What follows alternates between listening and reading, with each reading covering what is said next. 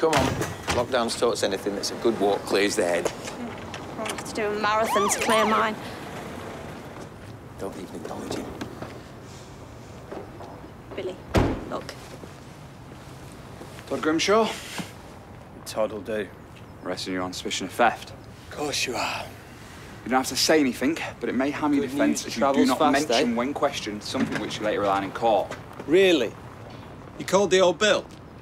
Look, I know I messed up, but It was both of us. It's only what you deserve.